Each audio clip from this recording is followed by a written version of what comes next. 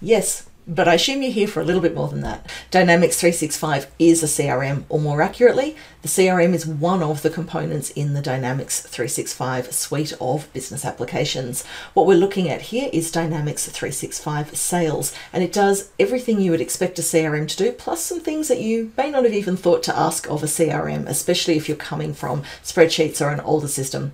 So, your CRM is about managing relationships with your customers, accounts, and contacts, as well as your entire pipeline process from a lead coming in the door through a sales opportunity and closing that as a one deal, as well as all of the activities that go on with it. So I have all of my accounts inside my CRM. Let's click through and have a look at one of these, Northwind Traders here. And what we're getting on the screen is a complete 360 degree view of everything that's going on with that account, which is what you want from your CRM.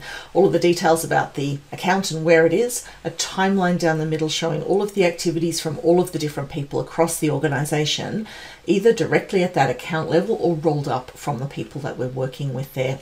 We've got a reminder here that's prompting us for an opportunity that's going to close soon, as well as all of the details for the related people inside that account, the contacts. So we have a hierarchical relationship here between an account and multiple people who work for that account. You've also got the ability to have a hierarchy in here to go up to other accounts, or if you don't even want to use accounts at all and it's all about people, then you can totally operate just at that individual level of contacts.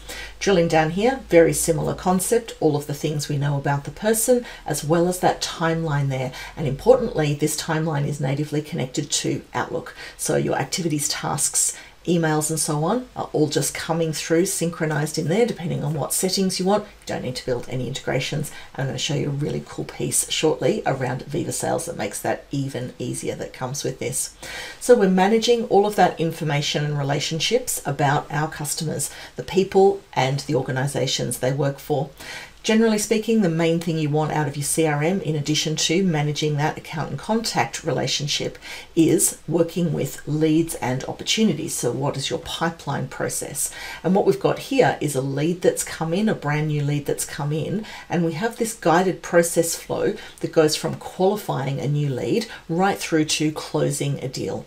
If you don't want to use leads, you don't have to use leads. You can work straight with opportunities, which is often what happens in a B2B scenario.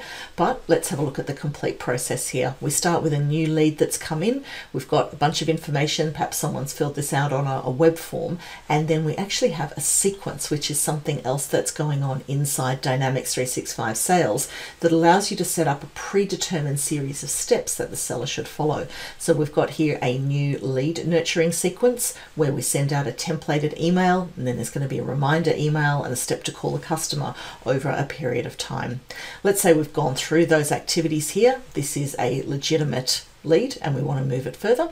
Then we just click qualify at the top here. And what this does is takes that lead, converts it into an opportunity, creates the contact record, creates the account record and links all of those things together so that you end up with an account with a related contact and a related opportunity, and it happens in the time that it takes me to explain all of that. All of your notes or anything that's gone along with that has come right through to the opportunity, and then I could click through here to see the details of the person or the details of that account, which have all been created automatically for me. From there, we do the work and go through the sales process here. We've qualified it, and the opportunity goes through develop, propose, and close stages with suggested actions and tasks along the way. Now, everything in here can also also be configured with Dynamics 365 Sales. It's all low code configuration. So you might have a different process. You might want to classify an opportunity type or an account type or add other data tables that you want to work with in addition to those accounts, contacts, leads, and opportunities. All of that can absolutely be done. Now, when you are managing your opportunities overall, you want to get this picture of how things are going with them. And this pipeline view allows you to manage that. What we've got here is some nice colored bubbles that are showing us the state of the predictive score. How likely is this opportunity to close? And this is based on factors that you can tweak as well as what the system has seen in the past of what you've won and what you've lost. And this helps you spend the most time on the things that are the most likely to close. So we can see here that we've got got coming up this one, which is a big circle. It's a high value opportunity. It's green. Our relationship is going well. We've got some other things in here that are sitting at grade B and grade C in the yellow and amber colors there. So if I come along here, here a little bit further into the future, this one isn't looking so good and it is worth a reasonable amount of money. So that can help draw my attention to that.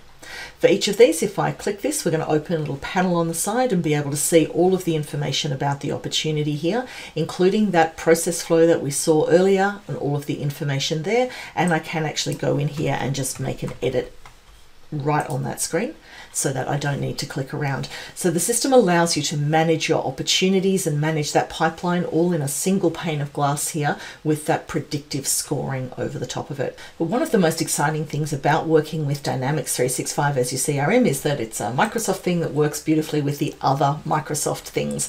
So we have here Viva Sales, which is included in the Dynamics 365 Sales Enterprise license. And this is going to make your world a whole lot easier. This is around bringing the CRM into the tools where you're working into Outlook rather than having to jump back in there all the time. So you've got all of that goodness underneath. Here comes a new lead, a new email that's come through from somebody who's interested in buying coffee machines.